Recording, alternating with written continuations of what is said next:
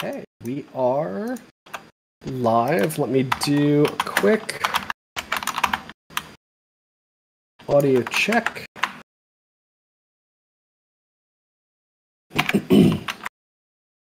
Maybe, possibly.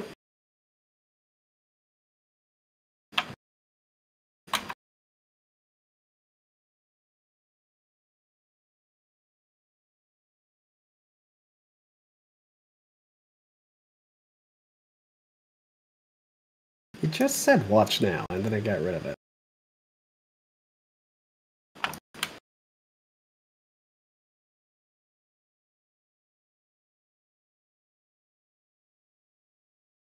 Oh, we're live. It says we're live. Yep, we are now.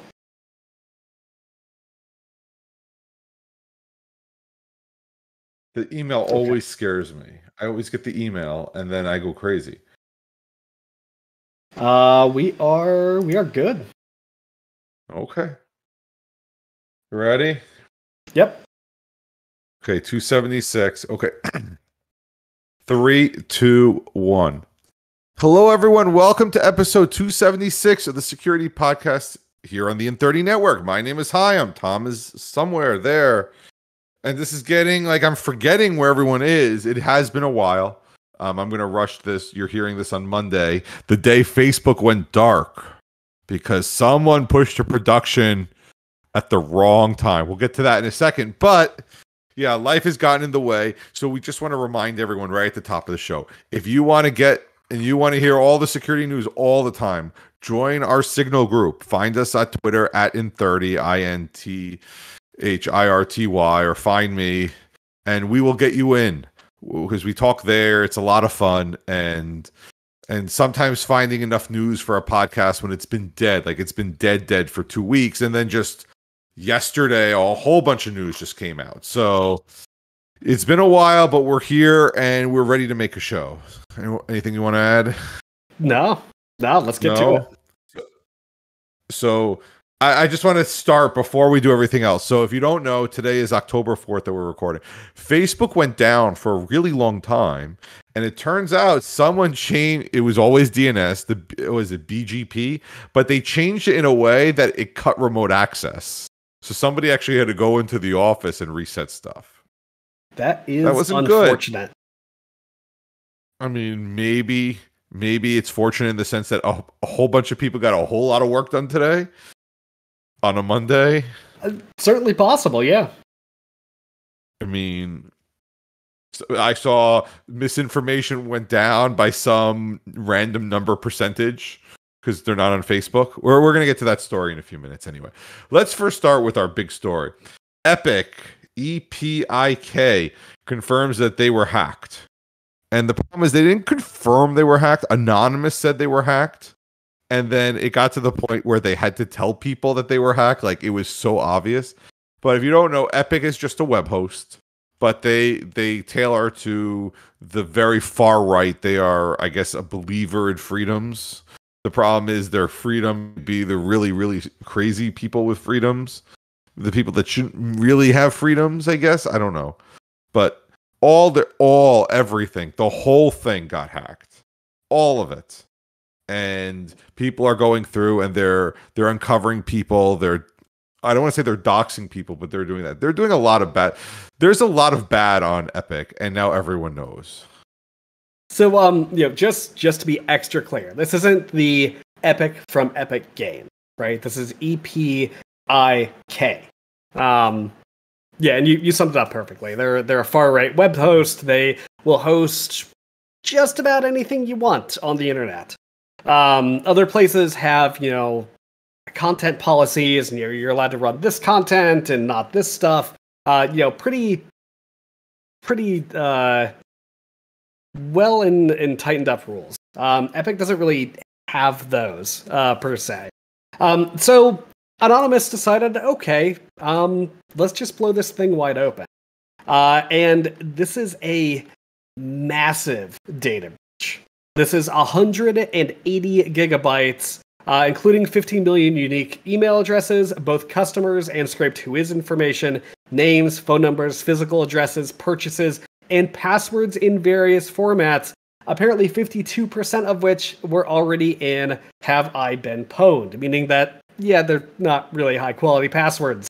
Um, so this hack encompassed all domain purchases. I'm, I'm reading literally directly from the, the anonymous, uh, like, basically breach notification where they said, hey, we hacked you. Here's what we got. Um, so all domain purchases, uh, all domain transfers in and out, all Whois history, unredacted, all DNS changes, all password or all email forwards, catch-alls, etc. Uh, payment history, no credit card data because Anonymous isn't in it for money. Like they're just in it for lulls, right? Um, so, uh, but payment history, that's huge. Uh, account creds for all Epik customers, hosting, anonymized VPN, uh, internal systems and servers, GoDaddy logins, and more in plain text. Um, so apparently, Epik barely hashed anything. Uh, when uh, yeah, okay, we'll just leave that there. That's that's too easy. I'm not going to swing it. Um, so uh, yeah, unsalted MD5 in the cases that passwords were hashed, um, and they they do drop uh, just a line from the database that shows, hey, here's everything that a typical customer has. Um, over 500,000 private keys? That is ridiculous. Why do you have that many private keys and what are you doing with them?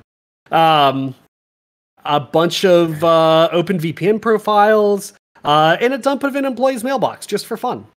Git repos, SSH keys, home and root directories of core systems. Like, this is a well and thorough trouncing uh, of Epik's internal systems. This is basically the whole company, just laid out for anyone to have and it's all free.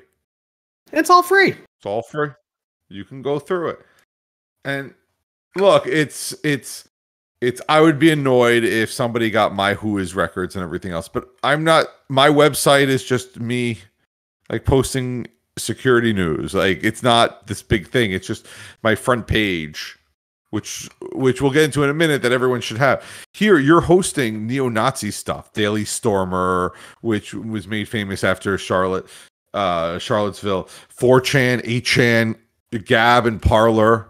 I mean, you're and uh, all the really bad things they're hosting here. So if you if you're trying to hide the fact you're working at a company that you're you're an alt right person part of the Proud Boys or whatever it is. You don't want your information getting out. I mean, maybe you posted it on Parler yourself, but you don't want that information getting out, and now it's out. And now they're going through this, and people are getting in trouble and everything else. And and this is bad. And it's one of those if you're going to do something bad, make sure the people that are doing this for you are also secure. And clearly they're not. Just it's unbelievable. Yeah, this is this is a huge hack. Um, I don't know how anybody, you know, remains a paying customer after this. Now, now, granted, you know, uh, running your own infrastructure isn't necessarily easy, um, right? If if you're going to completely skip the cloud, running your own infrastructure can be kind of expensive to rack and stack and co-locate servers and hire dedicated admins. Like, there's there's a reason why cloud hosting kind of took over as the really the default uh, for for most web applications um, is just because it's easy, right? But if you're trying to host content that is against that those terms of service, where where do you host? Uh, and apparently, one of your biggest outlets is now gone. Um, and if if it sounds like um, you know I'm I'm championing anonymous or or I'm cheering for this, um, just know that yeah, I am. Um, right? Uh, I, I think uh, any any kind of neo-Nazi content that gets knocked off the internet is a win for us all. So uh, I I can't really feel bad for him. Maybe I'm getting a little too political uh, there, but no, I was going to say the former guy uh, said Anonymous was doing all this great stuff, and we should reward Anonymous for hack. When did they they hack the DNC? Right. Yep. So the so again they go both both ways, and it's one of those you can't be happy at them now and then mad at them later. You either have to be for it or against it. And I mean, I'm always for keeping your security up. Yes. Um that that's keep your security up. And it's one thing to get hacked with hashes in place and everything else, doing the best you can. But here, this is like, you know, these people are doing really bad things and you're okay with it. And your response is let's have everything in plain in plain text. Let's keep people's addresses. Let's keep everything they've ever done. For what reason? To sell this? I mean, I, I don't think people want this stuff. I mean, now they do. And you could have sold it and made actual money. Here, Anonymous took it and is now giving it away for free. How does that? I mean, that sounds like socialism to to a purely capitalist website. Anyway, so it's look, yes, I'm happy. I'm happy that, like you said, neo-Nazism is terrible and should be eradicated, and and you have all this stuff, and I hope these people get the freedom that they deserve by their private companies finding out and exercising their freedoms and in ruining their lives. I just uh, hope the government doesn't do it, but I hope private companies do. This also housed the uh, Texas Right to Life uh, abortion whistleblower website, which uh, has made lots and lots and lots of news recently, um, and does list certain government officials as clients. Um, so yeah, there's there's going to be a, a, whole lot of information coming out, uh, trickling out of this leak in particular for uh, a while to come yet, I would imagine. The, the only problem that I wish we that we can solve is okay. We released all this data. I want to see the aftermath. I want to hear what went on. I want to see how they found these people, and I'm hoping we get more from the January 6th stuff. Where how did the FBI get this information? Because I, I, I am generally curious. I mean, we know we're scraping Gab and Parler for all this stuff, but I want to know like I want to see the good police work. That that's what I really want to see. Um, it's it's did the FBI have this already? Like, because we know that they don't they don't disclose what they have. They may have had this already, and they're just not telling us. And here, Epik is or Anonymous is giving it all to us. So I don't know. I don't yeah, know if there's anything more to say other than a whole bunch of people are getting owned right now, are not having good weeks. Yep. Um. Yeah. And you know, I as much as I do love the internet, I love decentralized competition. Uh, I love it when you know the the tiny players like Facebook take on the behemoth that is MySpace, and the little guy wins, and then uh, creates a dystopia of misinformation ten years later. Um, but as as much as I love when that stuff happens, right, where the internet uh, allows the small players to compete with uh, you know the the big players who are already established.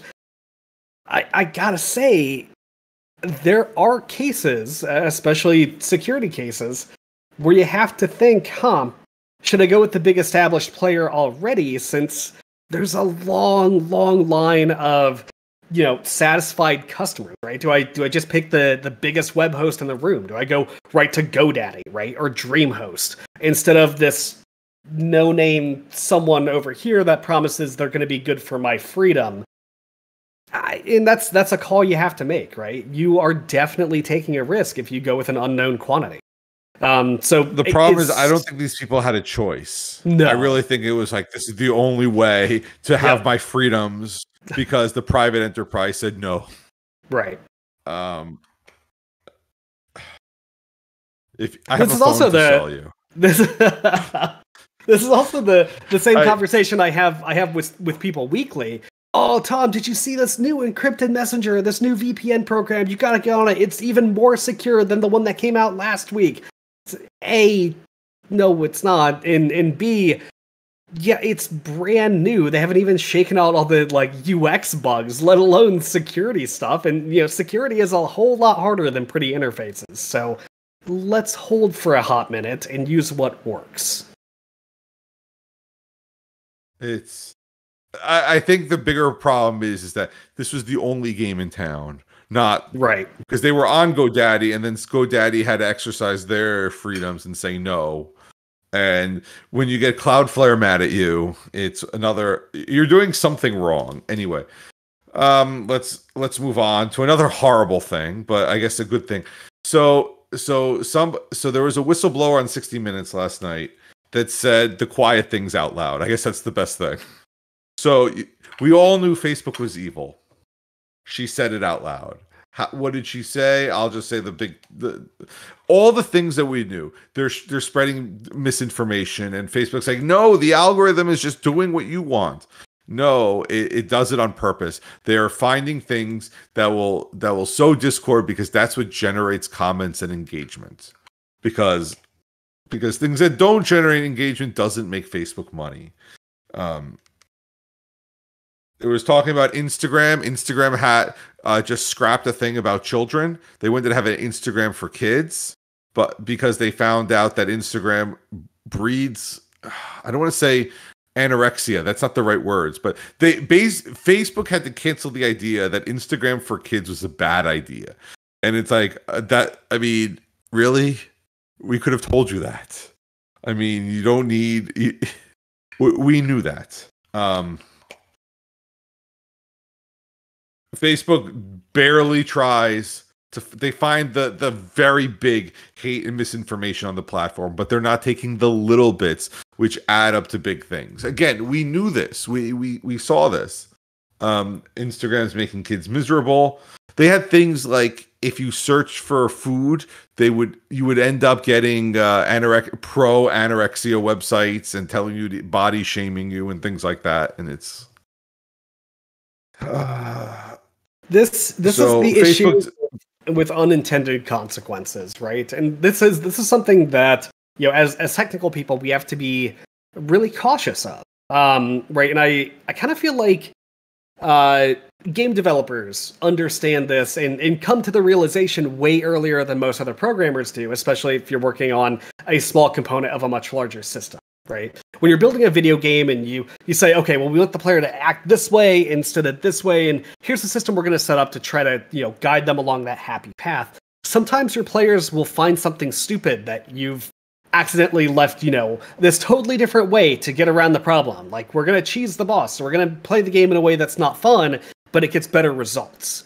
Um, and it's those kind of like misaligned incentives that can cause issues in these larger connected ecosystems. Well, in Facebook, right? Facebook, their algorithm and everything they have programmed is designed to do one thing increase engagement.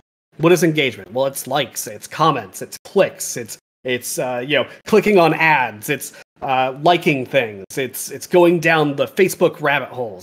Um, and you know what gets great engagement, right? If you see a picture of a cute dog and you click that like button, cool. But that's not enough, right? If you see a story about a news headline where the government is literally, literally putting microchips in your oatmeal, um, then yeah, you're gonna comment. You're gonna say this is ridiculous. You're gonna like leave an angry, angry like on on the news story. I don't even know what you call those. Um, and then you're gonna share it to your friends and be like, "Look at this stuff. This is absolutely ridiculous, right?" A, who would write something like this is clearly false, or B, I believe it. I've seen the microchips myself. Um, but all those things generate way more engagement than the cute dog picture. So what does the algorithm do? Well, it surfaces the things that get people all riled up because that creates more engagement. They're optimizing for one thing and one thing alone, and that has severe unintended consequences. And that's why you get stuff like this, right? If have you ever have you ever gone to a shopping website and you buy one thing for one need and you get a hundred different ads for hey we would like to sell you the toilet paper roll holder because you bought one because the, the spring kind of wore out and you needed to replace it but now we think you collect these things and yeah that's the algorithm sometimes they're dumb uh, so one of the other things it said on this article was that not that the Facebook people were evil, but they were given incentives to do evil things. So if you can if you find a way to raise engagement, we'll give you a gigantic bonus. Well, I like money. So so what if I if we tweak the algorithm to show you more posts. So what I did years ago, because I use Facebook for in lo- for town issues, um, I hid all the news. I don't want any I I am a smart person. I can find my own news. So I don't I mean I can read all the fake news I want. I don't need my friends sending me fake news. So I literally every any post that had a pretty picture that wasn't if it wasn't an original photo, if it was a news article that they didn't write, if it was anything that any like live uh live pray eat or whatever nonsense it is, I I hid, I blocked all of those. So it, sometimes Facebook goes crazy because it has nothing to show me because that's what all of it is. and it's like, oh, we got nothing, but we have to show you something. So it's another ad. But but I did that years ago, and you have to be proactive about it. And then when somebody new pops up and turns political, you have to snooze them and everything else. But Facebook, it's a lot better after that. And I do like Facebook Messenger. It's a nice app. And I do like WhatsApp. And that's nice too. And on Instagram, I only follow people I know. And they post really nice things. And I like that too. And I think the majority of people do that but it's that little bit it's the it's the people who care about politics and are living in their echo chamber because that's all they're around and facebook is just promoting that and promoting that and promoting that that you get this and on the flip side twitter does the same thing i don't know if it's as bad or or worse or whatever it is but you don't it's it's just so more much more blatant on facebook somebody like this well i don't want to see that we're only going to show you uh, the stories we think are good, not the most recent ones. So news headlines we get stuck on. So, and I know Tom doesn't have a uh, Facebook account, so I'm just ta- filling in the gaps for. Him. But still, WhatsApp and Instagram are just like that. And and I'm telling you, if you want to, it's time to really start thinking about moving off Facebook or Instagram. But where are you going to go? If you can't find another spot, then the best thing to do is just literally start tweaking it to only see what you want. Start unfollowing those people that only post uh, political posts. Don't engage. That's the better answer. Somebody's saying that they're implanting you with microchips. Don't say no. Just don't engage. You're not going to convince them. And and hopefully, I don't know what's going to happen with this interview. Probably nothing but maybe it's time that we start thinking about moving off of Facebook or at least definitely changing the way we use it. Yeah, one one thing that was also pretty pretty short-sighted uh, is the nicest way I can put it. Uh, apparently, Facebook dissolved its civic integrity unit after the 2020-11 and before the Capitol inter- insurrection in January. So they said, "Oh, hey, we made it. Uh, we've gotten out of the election cycle. Cool. We can we can just fold down the civic integrity group. Clearly, no reason to need this. It's not like anybody uh, is is angry or threatening things using our platform. Oh, oops. Um, yeah, I. It seems like a cost saving measure gone horrifyingly wrong. Uh, but you know that's totally just speculation I mean, I don't know if Twitter has that. Um, I, I feel like Twitter can make it. I I don't understand why Facebook has a civic integrity unit or account. I think they need to make policies and just stick to whatever it is. Make the rule. This is what it is, and stick to it. I don't think there needs to be a committee to argue over it. It's a private company, and I feel like they're doing it just because they want to seem fair. But I don't think they need to be fair. We don't want you on our platform. Goodbye. Like, okay. Yep but it all comes down to that engagement model, right? The the people who are the most infuriating on Facebook, well, they drive a lot of engagement. So why would you remove the thing that's bringing you engagement, that's bringing you ad views, that's bringing you money? It's it's not necessarily that Facebook itself is evil or the people who work there are evil. It's that literally the system is designed and built in a way to maximize outrage because that generates clicks, it generates likes, it generates ad views, uh, which makes people money. So it's not evil just to be evil, it's evil to make money, which it does. So, can you explain B, uh, BGP and what happened today?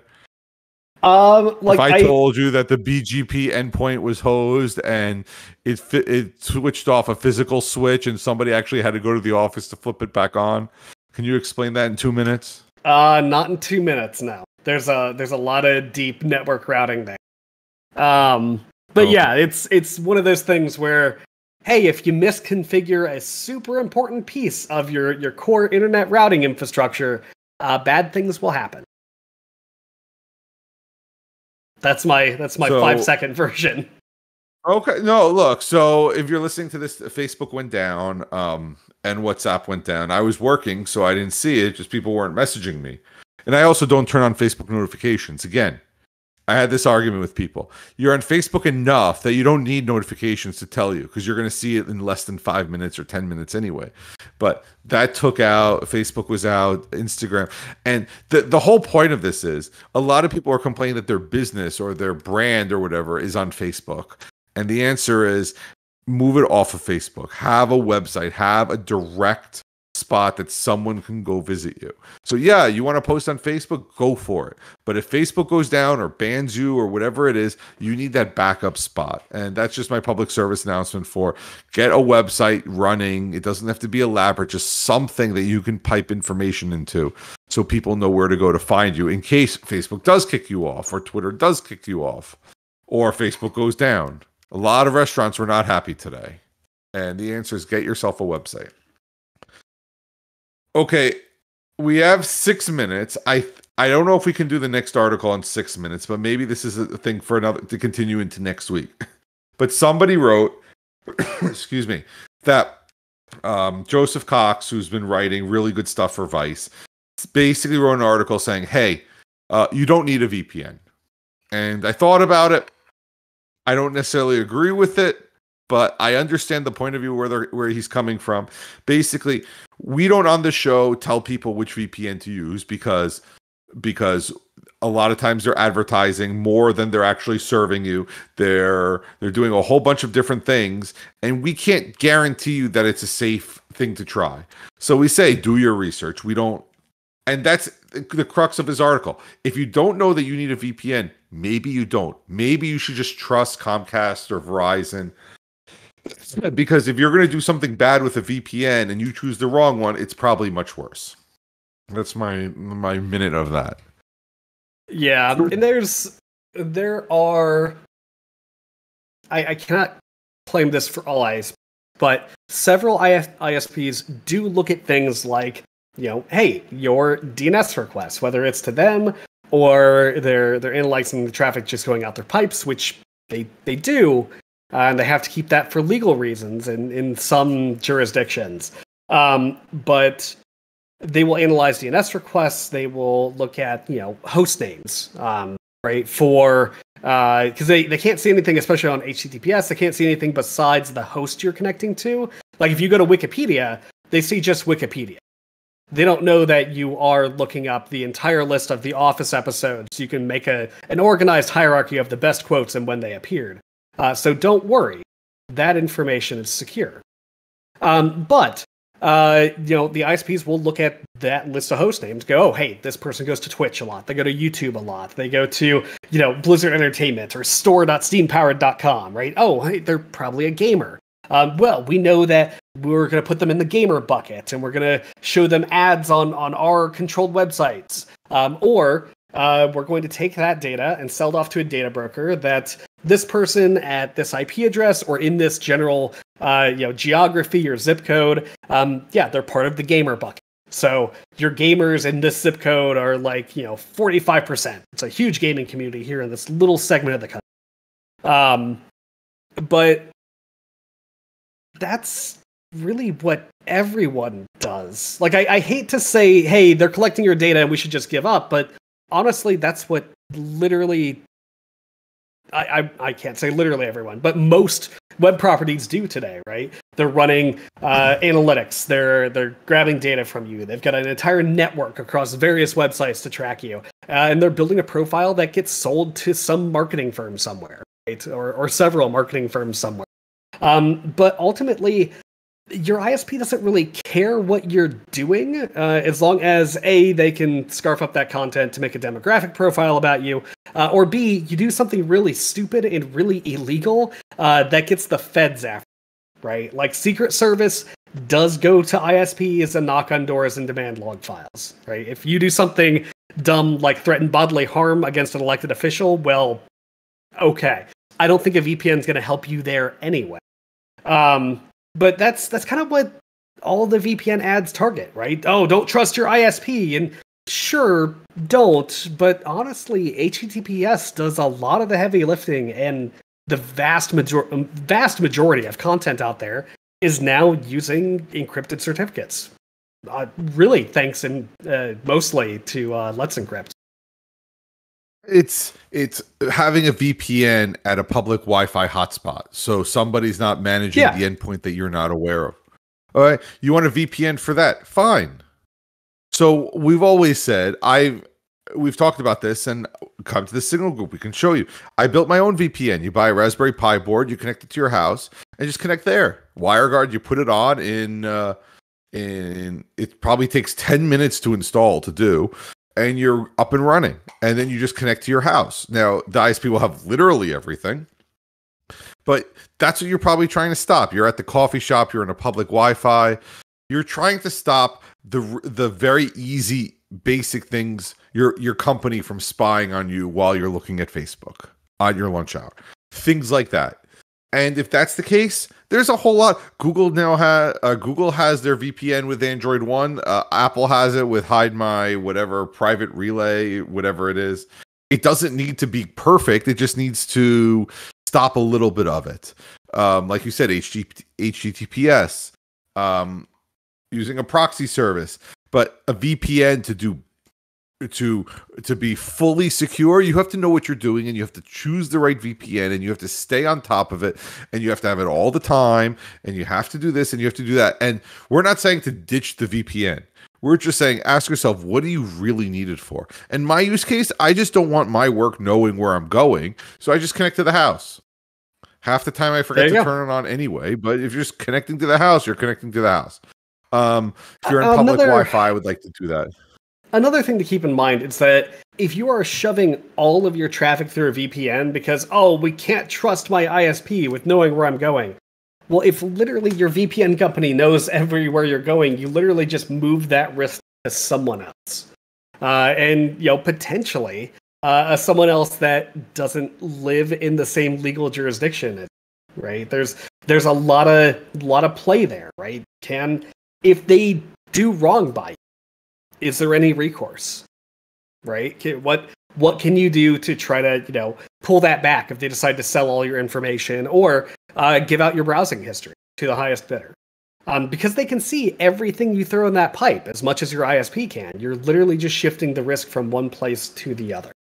Um, so yeah agreed. Think about why you need a vpn and if you're watching youtube videos and someone's like oh you have to protect your banking details with a vpn no, that's called HTTPS. And if your bank doesn't have it, you should find a new bank. right? But the vast majority, uh, if not all, financial institutions will have. Uh, it's just part of the standard and part of the compliance. to be honest, most places now have unlimited data plans. If you can be on 5G, 5G, I'm saying this as of now, has not been hacked yet. The only way for a 5G and I think LTE to have their data uh, st- scarfed up is to downgrade you to 3G. I think I'm not. I, I think that's the right answer. I so just being on 5G means that. Yeah, I think so. Like T-Mobile, AT&T, Verizon. I mean, the, yeah, they're the ISPs, but if you're trying to hide from the hacker in the coffee shop, go on 5G. Go on your data plan and and go from there. If you're watching YouTube, go on the free Wi-Fi, but go uh you're going HTTPS. Don't do your banking information on it. So that's that's all I got for this. If you want if, if you want to argue with us more, the Signal group again, find us. We'll talk about it. And I- if you have nothing else, I say we end. I got nothing. Uh, okay, so I'm gonna push this out hopefully tomorrow.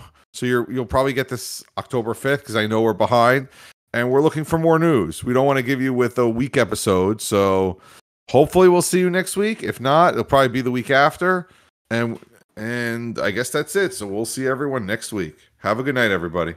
See everyone.